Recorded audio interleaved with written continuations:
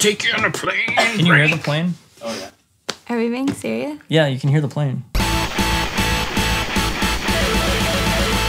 I am Scott Simons, and I play Maurice on Out of Shape. I'm Shelly, and I play Circle, otherwise known as Dino Circle, on Out of Shape. I'm James, and I play Triangle on Out of Shape. A lot of stuff goes into making every episode, such as voice work. We use an hour and a half to prepare. I just, you know, get in the role by just really studying dinosaurs and their exact movements And all of our voices are improvised. and just like their entire history, And we used to record them on an iPhone, which is why they sounded so shitty. just to be super accurate. And the other half hour, we we do all of the animating. We animated in Flash, Scott usually holds my hand. and then after that, we composite it with backgrounds in After Effects. He takes it, and I have a pencil in there.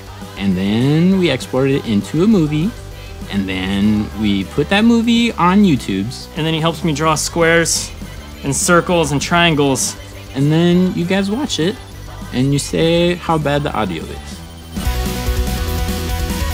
Scott Simons has saved my life at least three and a half times. It's really great working with Scott. He's awesome. Out of Shape episode 4 never would have happened if it wasn't for Scott saving my life that half of a time. Every time Scott says something hilarious, I feel like I'm always talking over him, so that kind of sucks for him. When we're not making Out of Shape, we're usually having intimate moments and nice coffee jams together. Uh, James, he's alright. He's prone to sneezing. He has typing skills. James is cool, I guess. Shelly, on the other hand, is a horrible influence. Shelly is the magic. She has to have all the green jelly beans. She won't record Dino Circle unless she has at least 20 green jelly beans in her hand. Shelly is old enough to rent a car by herself. A one, a two, a one, two, three. And it's singing along, and it's singing a song, and Yeah! Take it, Circle.